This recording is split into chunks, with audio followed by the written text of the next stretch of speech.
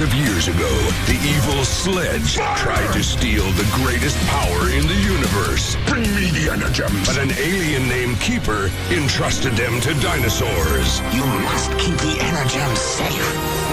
As for Sledge, It's ball! he was blasted deep into space. Now, the Energems have been found, and Sledge returns to battle a new team